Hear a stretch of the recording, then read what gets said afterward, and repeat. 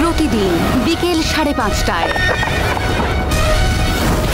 শত্রু এক। বিপদ অনেক। তিনি রক্ষাকর্তা।